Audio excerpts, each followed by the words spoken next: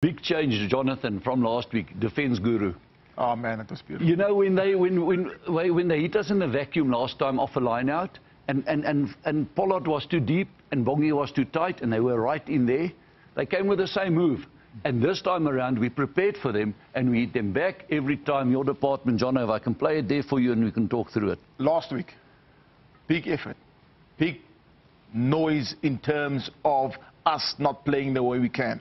Now, New Zealand, I said, um, and I made the statement that we are the only team that can put their skills under pressure. Now, this line out started right on the 10. Okay, they launch on the 10, and that yellow, that, that black, for example, is the advantage line, hypothetically speaking. Okay, so they launch with 12. They get stopped on the advantage line. Okay, they launch again. Okay, they get stopped on the advantage line again. That's the second phase, right? So what happens? We're still in charge here. Okay? They launch again. They come short. Where do they go? Still, still on the advantage line. Siya makes a tackle. Back on his feet. Look at what happens now. They go.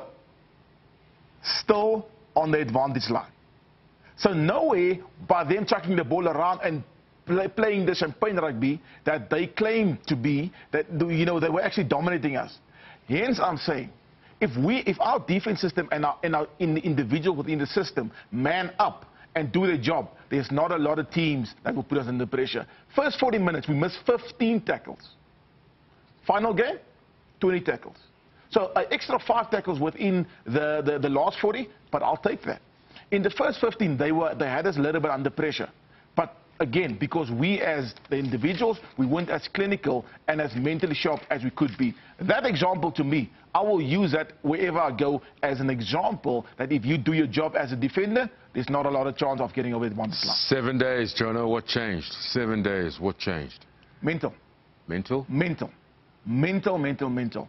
Because there's no way that Jock or Rassie or Stick or whoever part of the management will coach these boys a different technique within seven days. Desperation? No, but, but they will make subtle changes. And the subtle change was they blocked the vacuum. The for two games, the vacuum of the lineout was open, Jonathan. This time, the connection between yep. the, the lineout defender and the back line just linked up properly there. Yep. And yep. that led to the three brilliant hits. It was big smashes, and they couldn't get over the game line. And they waited patiently for me, I thought last week they went for every ruck, they went for a steal. Waited, waited, waited. They put three numbers in. The ball carrier's isolated. What does Siya do? He poach it. A good stealer waits for the right time to catch that fish. Sorry, I nearly spoiled this thing. To, to, to hook that fish.